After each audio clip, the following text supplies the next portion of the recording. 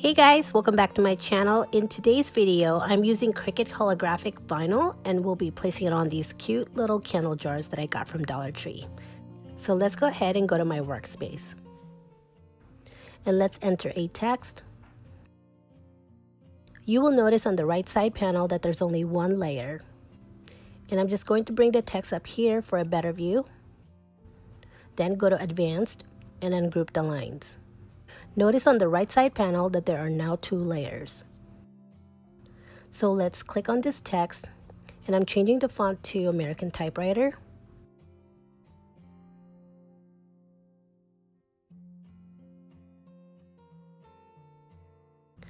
Then click on this text and change the font to Gabe Lisa.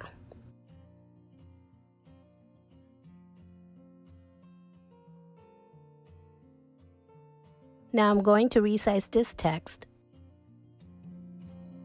And right here, this is the letter space and by clicking on the down arrow, you can bring the letters closer to each other.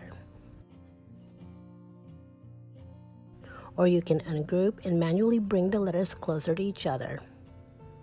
Also notice that there are now lots of layers on the right side panel.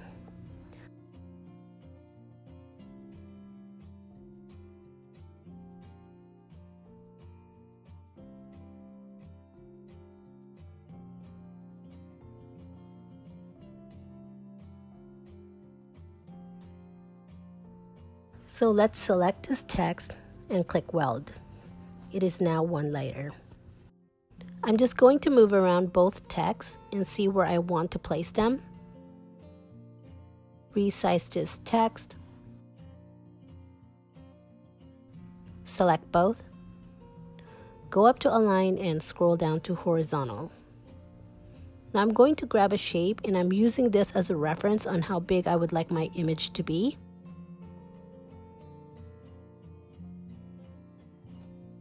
So I'm going to unlock it right here.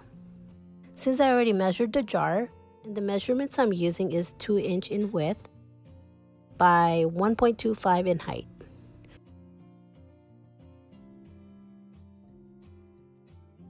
Then I'm going to change the color up here for a better view. I'm going to select both text and group it. I'm going to make the text smaller and I'm just going to zoom in.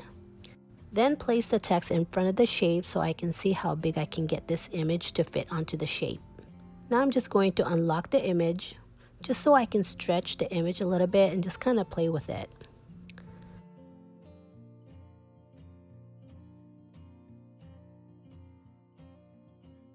This looks okay with me so I'm just going to hide the shape. Select both layers and click attach then make it.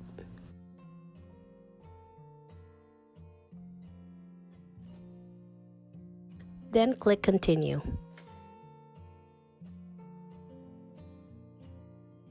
I usually leave my dial in custom settings. Click on browse materials. I'm going to type up holographic. Then I'm going to choose holographic sparkle vinyl and click done.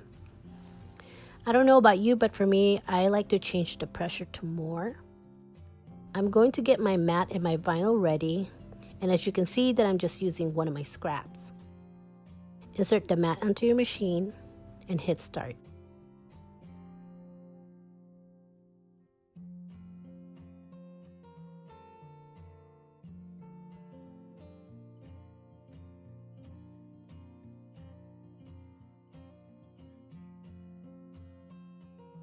Now that it's done cutting, I'm just going to remove the vinyl from the mat,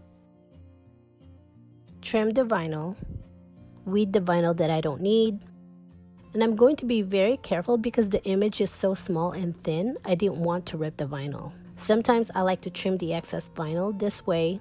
The adhesive vinyl side doesn't touch the vinyl that I'm actually going to use as a decal.